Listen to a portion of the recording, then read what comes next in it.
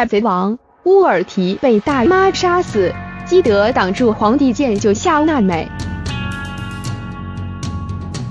海贼王一千零十三话果然又是劲爆的一话，这一话的剧情再次出乎所有人的预料。大妈自从开启修女模式之后，就变得混乱不堪，友军什么的，在大妈脑海里已经没有任何概念。为了报恩，大妈决定好好教训一下佩吉婉和乌尔提。之前佩吉万被大妈一拳秒杀，很多粉丝觉得有点夸张。怎么说佩吉万也是六子之一。然而在一千零十三话剧情中，更为离谱的一幕出现了。乌尔提被大妈杀死，基德挡住皇帝剑救夏娜美。如此看来，大妈和基德即将正式开打。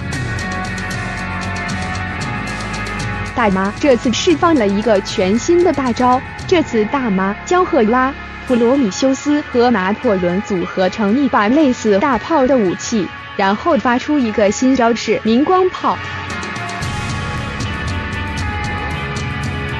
这是一个合体技能，既然是合体大招，不用说都知道攻击力一定非常可怕。而明光炮直接击中了乌尔提，从上图画面中可以看到，乌尔提小姐姐的身体被直接射穿，画面看起来非常凄惨。注意，此时的乌尔提使用了人兽形态。这个形态是动物系果实能力者的最强形态。人形形态不仅攻击力很强，同时非常擅长战斗，因为体型也不是特别大，战斗的时候也比较灵活。乌尔提小姐姐被击中之后，她还骂了一声“畜生”。随后，小姐姐倒的不起。从小姐姐的表情来看，乌尔提伤的确实不轻，不仅口吐鲜血，同时两只眼睛也出现了翻白的一幕。如此看来，乌尔提可能就不活了。就这样，乌尔提被大妈杀死。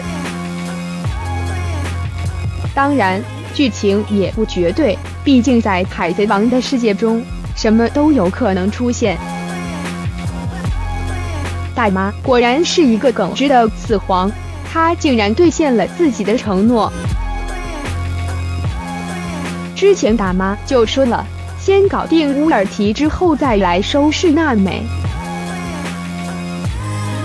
既然乌尔提已经被他搞定，那么接下来大妈就会盯上娜美。